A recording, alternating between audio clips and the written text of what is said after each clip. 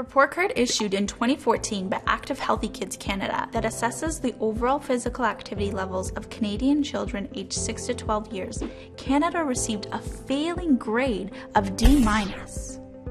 The report indicated that while participation in organized physical activities outside of school was quite high, not all kids can afford to participate in such activities.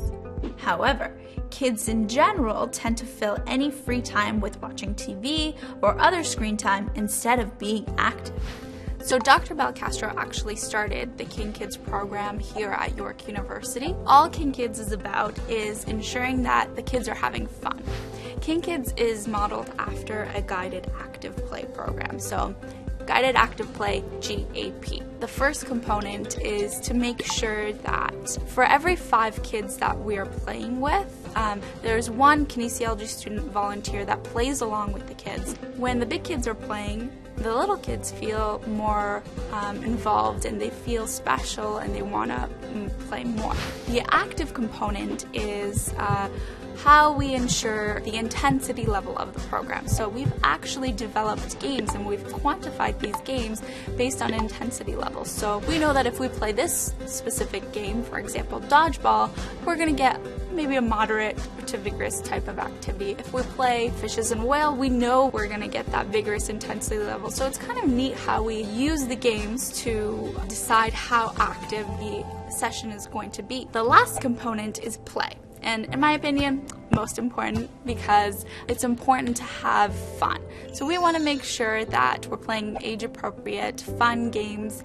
Um, and if they're not having fun, they're not going to play and they're not going to be active.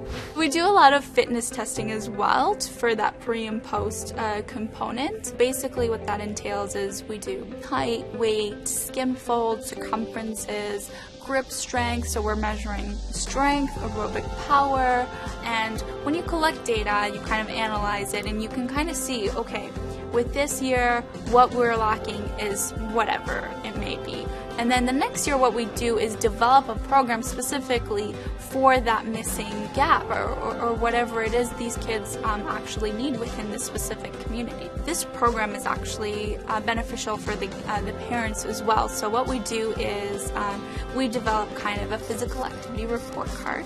So, at the end of the camp, generally it's about seven weeks that they're with us, um, we, we let the parents know um, how active their kids were, but also some of the health and fitness statuses. So, their body weight and their aerobic power. So, all those things that we collected kind of lets uh, the parents know how their kids are doing in terms of physical activity. Originally, um, we started working with the Driftwood Community Recreation Center, and they had three different programs. So, one at Driftwood, one at the Gosford School, and one at the St. Augustine School. So, the, these are just the three main programs that we have worked with in the past. The challenge in expanding the program really is that we really rely on those kinesiology student volunteers.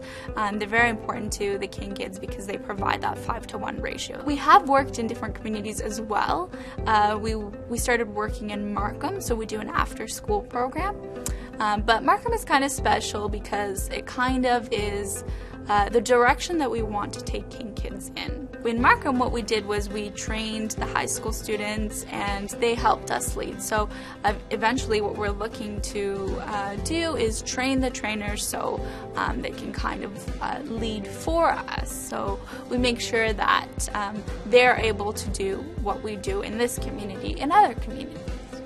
We do have a number of volunteers, and with this large group, it's really important to make sure that every time they're doing the assessments, they're getting the same values, right? This is this is for repeatability and to make sure that the values they are collecting are valid because at the end of the day, this is for research purposes. They're very excited to participate. Each year, we have about 80 or so volunteers. So just to give an idea of how many people are actually involved. So uh, it's beneficial for them them because um, they can uh, kind of gain experiential learning.